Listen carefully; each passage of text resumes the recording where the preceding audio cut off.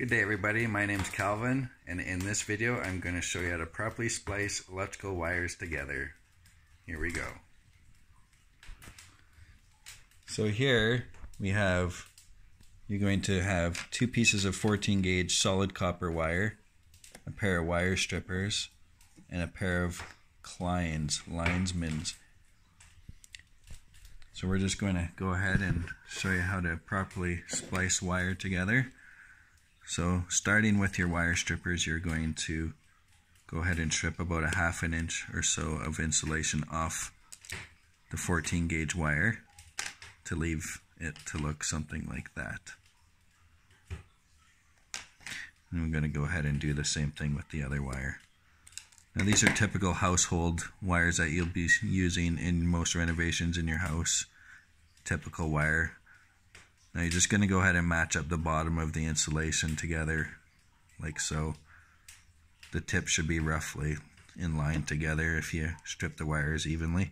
Go ahead and take your Kleins, your linesmans, and go ahead and you're going to twist these wires softly in a clockwise rotation, adding a bit more pressure as the wires continue to twist together.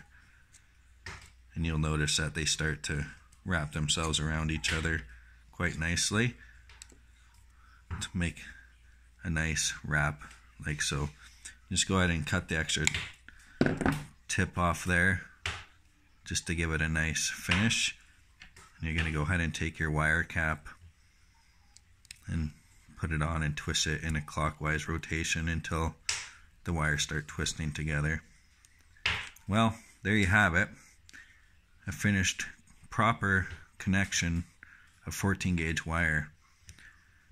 So again, twisting that off in a counterclockwise to remove it, you can see the connection is substantially done well.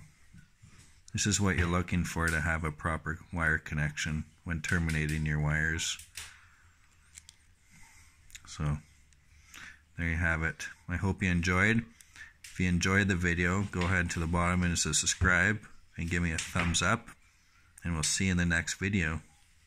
Thank you.